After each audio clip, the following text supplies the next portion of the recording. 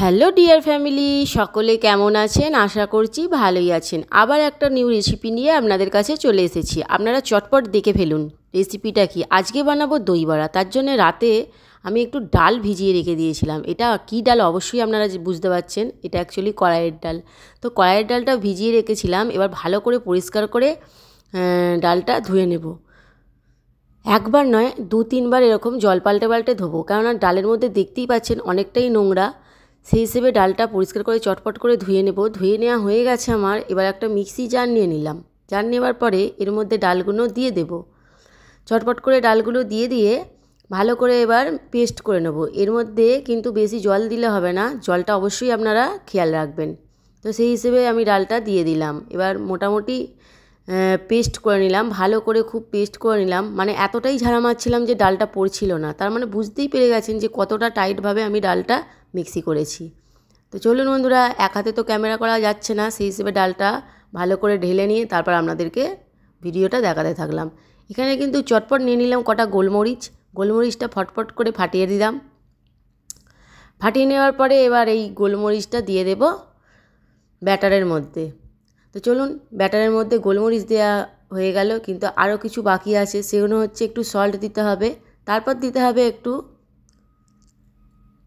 হিং। তো হিংটা দিলে দই বড়ার টেস্টটা খুব ভালো হয়। এক হাতে তো কিছুতেই মাখাতে পারছিলাম না। সেই হিসেবে ভালো করে ব্যাটারটা রেডি করার জন্য ফোনটা একবার স্কিপ রেখেছিলাম।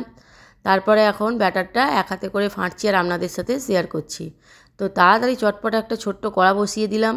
কড়া বসিয়ে দেওয়ার পরে এবার কীভাবে বানাবো সেটা অবশ্যই আপনাদেরকে দেখাবো। তো আপনারা দেখতে থাকুন। চ্যানেলটা একদম স্কিপ করবেন না। স্কিপ করলে কিন্তু আপনারা কিছুই বুঝতে পারবেন না। তো এখন আমি দিয়ে দিচ্ছি ডালের ব্যাটারটা একটা চা ছাঁকনির মধ্যে। আপনারা হয়তো ভাবছেন, এ কি মাথা ফাতা খারাপ খারাপ হয়ে গেছে নাকি চা ছাঁকনির মধ্যে ডালের ব্যাটার দিয়ে কী যে রান্না করছে ভেবে পাচ্ছি না। কিন্তু না, এটা কিন্তু একটা মজাদার ডালের বড়া রান্না হবে, বড়া হবে। শেপটা কত সুন্দর হবে আপনারা দেখুন। যেমন মেহেন্দি বড়া হয় দোকানে, ঠিক সেইভাবে শেপটা আমি আনছি। হঠাৎ আমার মাথায় এইটাই বুদ্ধি এলো যে চা ছাঁকনির মধ্যে করে দিয়ে এইভাবে আমি মেহেন্দি বড়াগুলো করে আর দইয়ের মধ্যে চুবালে খুব সুন্দর দেখতেও লাগবে আর খেতেও লাগবে। সেই হিসেবে দেখুন, এক এক করে কিন্তু আমি ভেজে নিয়েছি, অনেকটাই টাইম লেগেছে। একটা একটা বড়া ভাজতে মুখের কথা নয়, অনেক টাইম লেগেছে।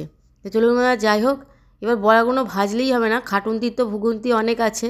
এর মধ্যে এবার না খাটলে তো হবে না।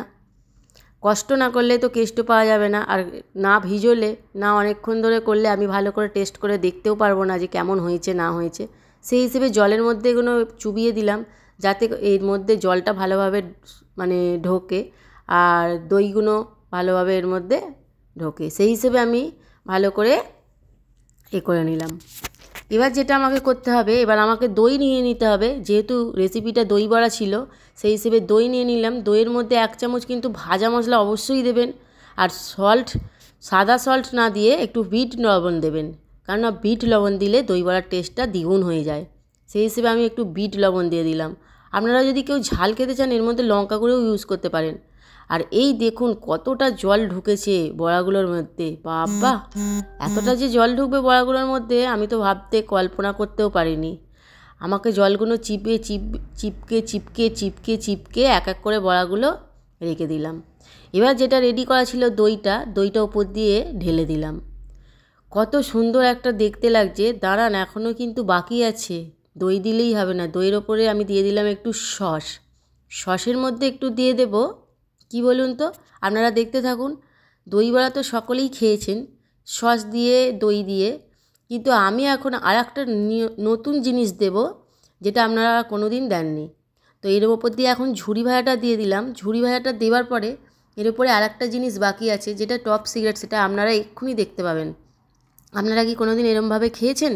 তো অবশ্যই খেয়ে দেখবেন। একটা বাটি নিয়ে নিলাম, বাটির মধ্যে একটা ডালা, তেঁতুলের ডালা নিয়ে নিলাম, নিয়ে একটু জল দিয়ে দিলাম। জলটা দিয়ে এবার ম্যাজিকটা দেখুন। এইভাবে যে তেঁতুলটা এমনভাবে বানাবো, আপনারা কল্পনাও করতে পারবেন না। তো ভালো করে চটকে মিক্স করে নিলাম তেঁতুলটা। আগে থাকতে যদি তেঁতুলটা ভেজানো থাকলে আরও ভালো হতো। এবার একটা ননস্টিক প্যান বসিয়ে দিলাম। তার মধ্যে তেঁতুলের গোলাটা দিয়ে দিলাম। আর এবার পরিমাণ মতো চিনি দিয়ে দিলাম। আপনারা অবশ্যই বুঝতে পারছেন, আমি এখন বানাচ্ছি তেঁতুলের চাটনি।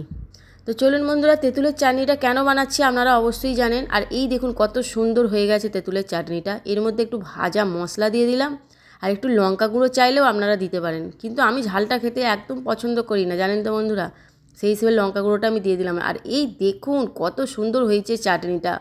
আমার তো এখনই জিভে জল এসে গেল, আমি তো একটা আঙুল দিয়ে মুখের মধ্যে ভরে একটু খেয়ে ট্রাই করে নিলাম।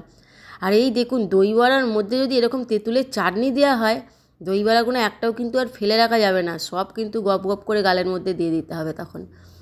তো দেখুন বন্ধুরা, আজকে আমার দই বড়ার রেসিপিটা কেমন হয়েছে অবশ্যই জানাবেন, আর তেঁতুলের চাটনিটা ওপর থেকে দিলেই হবে না, সব বড়াগুলোর মধ্যে ভালো করে মিক্স করে নিতে হবে। মিক্স করে এবার পরিবেশন করতে হবে। তো বলুন বন্ধুরা, কেমন হলো আজকে আমার রেসিপিটা দই বড়াটা ভালো করে মিক্স করে এইভাবে মাখিয়ে নিলাম। মাখিয়ে নেওয়ার পরে এবার দাদা আপনাদেরকে পরিবেশন করে দেখাবে যে আজকের দই বড়াটা কেমন খেতে হয়েছে।